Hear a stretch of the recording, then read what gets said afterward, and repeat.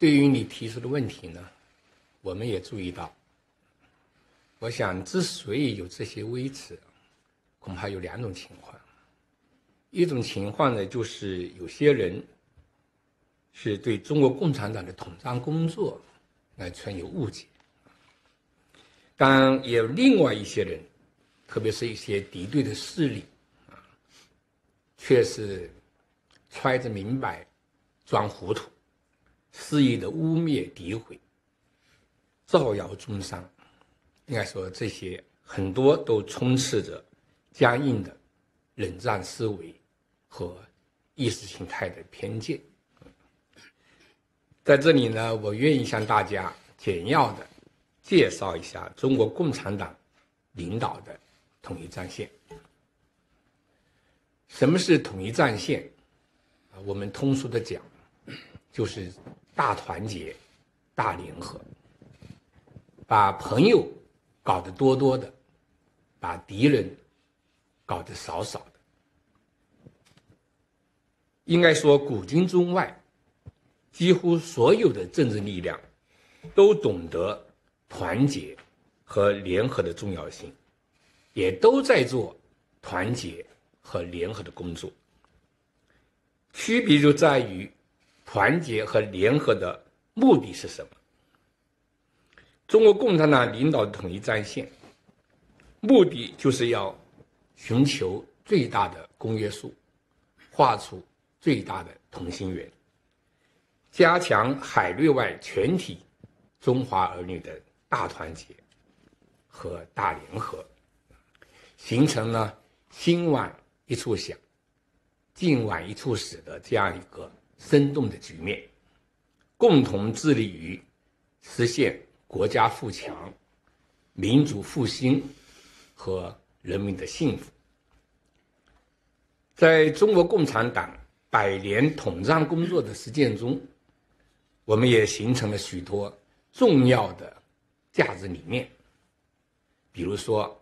坚持求同存异，正确处理一致性和多样性的关系，寻求和增进共同点。尊重和包容差异性，比如坚持合作共赢，在追求和实现共同利益的基础上，尊重、维护和照顾好同盟者的利益；比如坚持民主协商，有事多商量，遇事好商量，众人的事情由众人商量。广泛凝聚人心，汇聚力量。我们在对外交往中，一贯主张世界文明、世界不同文明要包容互鉴，促进世界各国的和谐相处，推动构建人类命运的共同体。我们重视发挥海外侨胞和留学人员。融通中外的桥梁纽带作用，目的就是促进中国与世界各国开展人文交流，发展友好关系，增进相互理解和友谊。正像刚才建超主任说的，我们从不干涉别国的内政，也从不输出意识形态。和社会制度，应该说，中国的统一战线工作呀，都是在阳光下，堂堂正正开展的。这与一些敌对势力